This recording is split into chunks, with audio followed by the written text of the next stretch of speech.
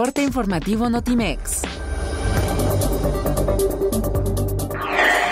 Los soldados y marinos están para cumplir con una misión, para preservar la seguridad interior, para cuidar de nuestra soberanía y no necesariamente para hacerse cargo de tareas que en estricto sentido corresponden a las policías investigadoras y a las distintas procuradurías del país, subrayó el presidente Enrique Peña Nieto.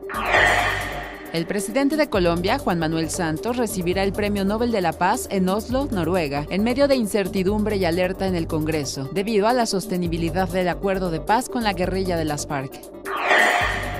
La ratificación a la calificación de la deuda mexicana por parte de Fitch obedece a que el país cuenta con un historial de políticas económicas disciplinadas a favor de la estabilidad macroeconómica, que le permiten enfrentar el entorno externo adverso y que han avanzado en la instrumentación de las reformas estructurales, resaltó la Secretaría de Hacienda y Crédito Público.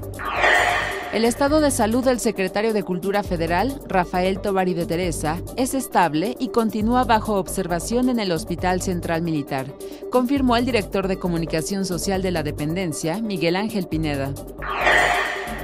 La Agencia Espacial Mexicana lanzó una nueva convocatoria para que estudiantes mexicanos realicen estudios en la NASA en el verano de 2017 por ser considerado un espacio cultural multifuncional que forma parte de la memoria histórica e identidad colectiva de la capital del país, el Teatro Blanquita fue declarado Patrimonio Cultural Urbano de la Ciudad de México. Roger Goodell, comisionado de la NFL, anunció que durante la próxima campaña 2017 se disputarán cuatro partidos de la temporada regular en la ciudad de Londres.